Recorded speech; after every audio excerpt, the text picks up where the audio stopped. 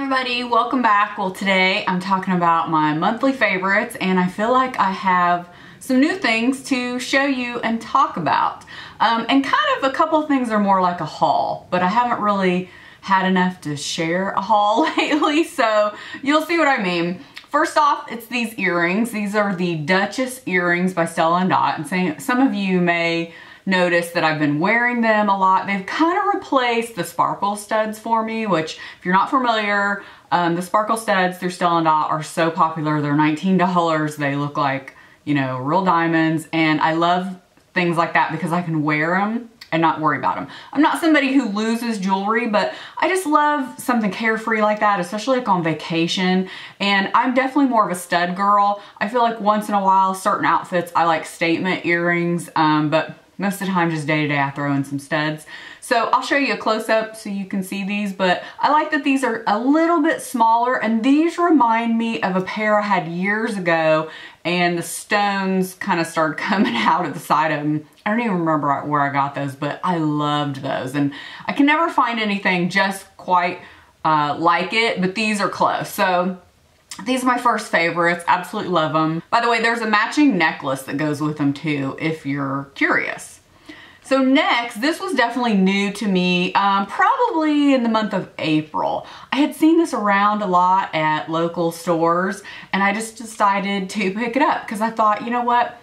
Once in a while I need this, whether I'm on vacation or a trip or just certain days my skin looks like it needs more hydration. So this is the Neutrogena Hydro Boost hydrating um, hyaluronic acid mask. So they also have another one that's more like in a greenish kind of color. Um, I can't remember exactly what that one is, but, and then they have ones in like little cup looking things that are like a sleep mask, I think. Anyway, this is a sheet mask.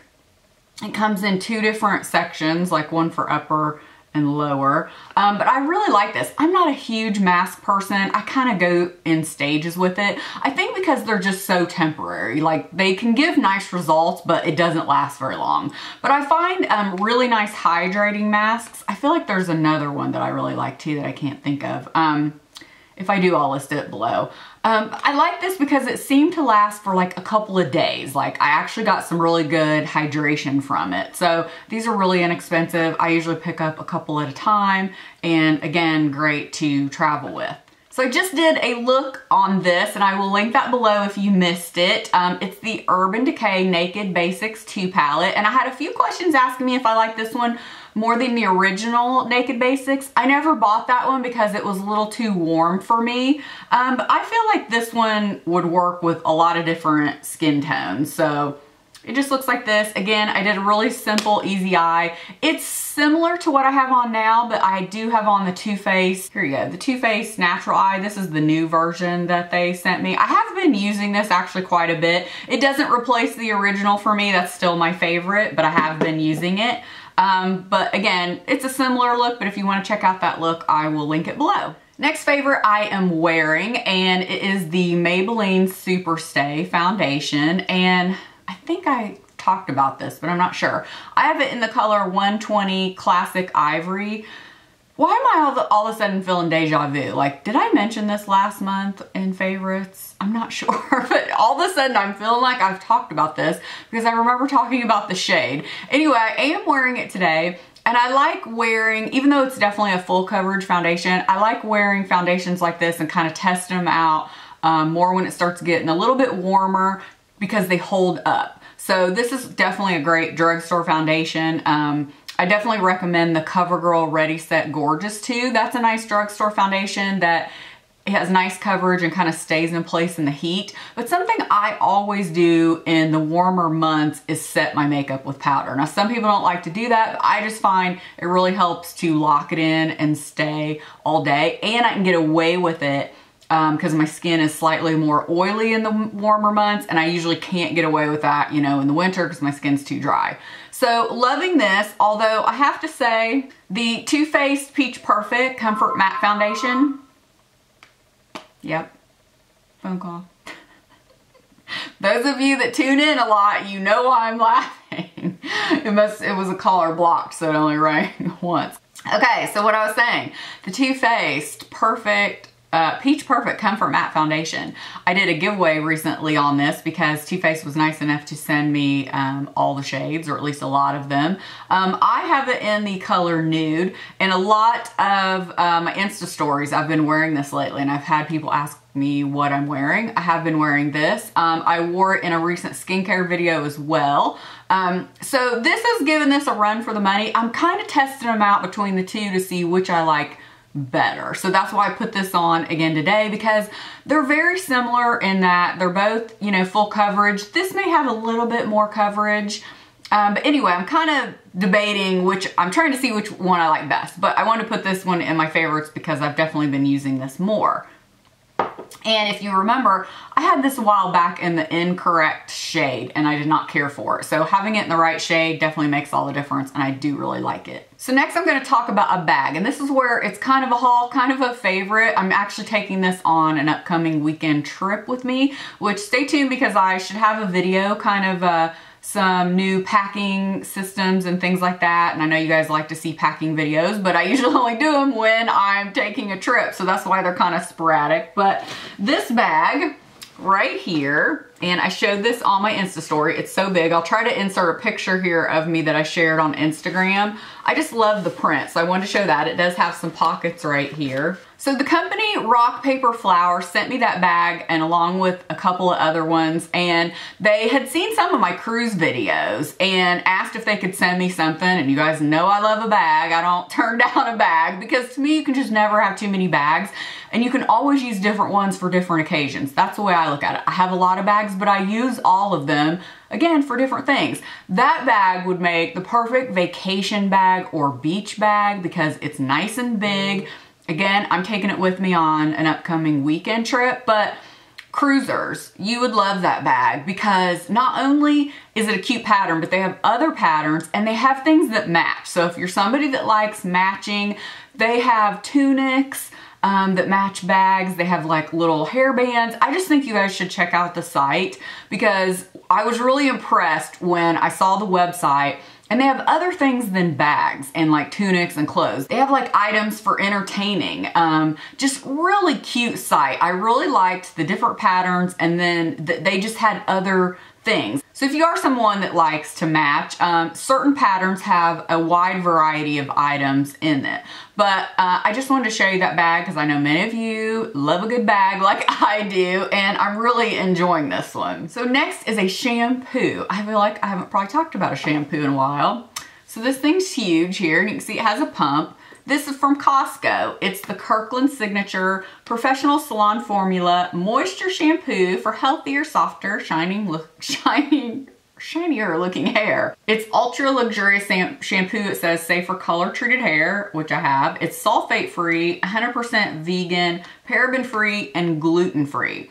So if you follow me on Instagram, then you remember me talking about when I last had a haircut I don't know, maybe a month ago, a few weeks ago. Um, my stylist I got to talking about um, why my scalp was itchy sometimes. And I had told her, you know, for the last year, I think in April it was year that I was using Monat. And Monat really helped cut down on my scalp being itchy. Not only did it give new growth to my hair, which she could totally see and agreed with, um, it was one of the few shampoos and systems was not making my scalp itch. All of a sudden, it seemed like I went through a period, it was like everything was making my scalp itch. And I tried everything, researched so much, you know, all kinds of shampoos, and just once in a while. Well, this triggered her to tell me about a client of hers that is gluten sensitive um, and it was the gluten in some shampoos that were was irritating her scalp because she knew um, that I had had some food sensitivity, so she just wanted to bring it up. And so all of a sudden I was like, oh my gosh, are you kidding me that that may be the culprit? Because I am gluten sensitive, I have been tested for it, I can eat um, gluten, you know, bread, things in moderation. If I go too far, um, which I actually have recently, I will know it. I will break out in a rash. I will have symptoms. My body lets me know when I've had too much. So uh, we did some research while I was sitting in the chair on best gluten-free shampoos because she couldn't remember the one her client um, had used. So we were looking, this was number one and got the best reviews. And I actually really like it. It's a nice shampoo. You guys let me know in the comments if you guys have used this. It's a really nice shampoo that reminds me kind of like of um, a cross between Alterna, which Alterna, one of one or two of the Alterna shampoos was on that list as well. So it reminds me kind of between Alterna and Pureology. It's um, very thick, the shampoo, and you know, like most sulfate, sulfate-free shampoos, the lather is very luxurious. Um, and so it's very nice. I think a lot of you would like this and I'm really enjoying using it and it doesn't make my scalp itch so far. So speaking of another shampoo that I bought that day when I was in the salon, um, I've used Pureology before, but sometimes I wonder if the Hydrate one, the one in the purple, if it doesn't make my scalp itch a little bit. Um, but this one in particular, she thought I should try. This is the Strength Cure. And I just bought the little ones to try because I didn't know if I'd like it. So this says um, it's for micro scar damage color treated hair. It's 100% vegan ingredients. Why I got this is because um, I had told her not to get into a big hair story, but I had told her that my hair seemed very dry. And if you guys remember the last time I got lowlights and highlights back earlier in the year. The lowlights just grabbed really funny and then I had to get highlights right after. Well, I think all that happened because my hair had been getting really dry. So I have quit using the Monat for a while. I'll probably go back to it at some point, but my hair just needs a break. My stylist thought it needed a break. It, it seemed like it worked really good for a while and then just quit working and my hair seemed to get like really dry. So that's the reason for this. And again, the scalp itch, um, since I'm not using Monat, sorry, this is like a long-winded version of trying to get why this is in my favorites. I apologize. So for the scalp itch, that seems to be working. The Kirkland, this doesn't seem to bother my scalp either. And again, this is the Strength Cure. Um, and I'm using some other things, just trying to get the hydration back to it. I'm always looking at my hair when I have it like pulled up um, it always looks really dark and the roots seem to be very dark lately, so, but I don't get highlighted again until next month. Okay, so a self-tanner. Um, this one is a new one because they did not have the Saint Tropez in the blue bottle that is my favorite. Um, so I decided to get this and I feel like I saw someone on Instagram talking about this and I'm not sure. I want to say it's Brittany Leverly Gray, but I'm not positive. So I thought I would try it. This is in the medium and it's the St. Moriz, I think is how you say it. And I will list it for you below. And I really like it. It's very similar to St. Tropez in that it's that really luxurious feeling foam when you put it on. And I use a mitt because it is a foam. Um, it just feels really nice going on and I feel like it develops pretty quickly. I don't think it lasts as long as the St. Tropez, but it's definitely like a streak-free formula. You wash off, you know, the color guide. So if you're not, when you hear people say color guide, um, that's when your skin looks really dark and then you wash off in the shower and you can see it kind of run down the drain. But the color guide is so when you're putting it on, it's more bronzy looking and you can see where you're putting it. I really like this. Again, I don't think it lasts quite as long as the Saint Tropez, but is very similar and about half the price. So if you're looking for something, um, I do have this on. I just put it on um, yesterday. I feel like it looks much darker. It's one of those, like when you wash off the guide, it's not as dark, but boy, when it develops, you're like, oh, this is really good. So I always try to wait like a day after to let it really soak in. So like I put it on yesterday and then I took a shower today. So anyway, just wanted to tell you about this. So just a couple more things. Again, if you follow me on stories, this is kind of where it comes into a haul um, but I wanted to add it in the favorites. I got this in April. It was part of my goodie bag from QVC when I went to the Reward Style Conference.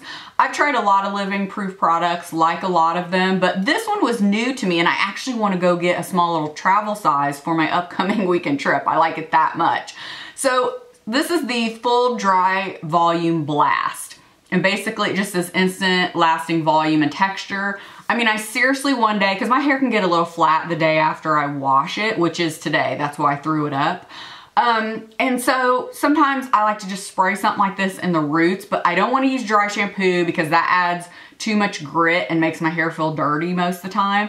This I liked. Um, it does have a pretty strong scent. Like a lot of the Living Proof products do. It didn't bother me. It kind of went away after a while. I think if you were used to using this all the time, you probably wouldn't notice. It was just new to me, so I did. Um, but it's really nice. I just lifted up a few sections and sprayed it in. And I mean, there was volume, but it wasn't like crunchy, hard hairspray kind of volume. It was just nice. I mean, I really like this stuff. Like I said, I'm gonna buy a small one so it can travel with me. So last thing is a pair of shoes. If you, again, if you follow me on Instagram, I had shared these shoes and asked about sizing for you guys. So I was able to size down and I've posted, I think, a picture or two of me wearing them on Instagram, but I love these and they are definitely so much better in the correct size. I had originally bought a half size up, so get your regular size in these. I had originally bought a half size up because in the Gigi sandal, I needed to go a half size up. So I just thought, oh, in sandals, sometimes I need a half size up. No, I didn't. Get the regular size because they're very roomy in here. And I'm someone, I wouldn't say I have a real narrow foot. It's not wide. I don't know. To me, it's just normal, I guess. But um, there was a lot of room. I mean, it wasn't so much the length that was weird, it was a lot of room here, like they would have just fallen off my feet. So I love these and I love this color and they come in other colors. They come, I think, in a really pretty orange and um, like a gold, I think white, a lot of other colors. I really liked this color because it just goes with everything and I didn't really have anything um, this nice brown color. Everything's more of like a nude in my Tory sandals and all that. And the footbed is very cushiony and nice. Again, these are just one of those you can just slide your foot in. They look cute. You can wear them with all kind of things. So I wanted to mention those. Well, I've officially talked your head off. Leave me a comment below if you guys have tried any of this and what your thoughts are. Make sure to subscribe if you haven't already so you don't miss any future videos. I appreciate you guys taking the time to watch and I'll see you in the next video. Bye.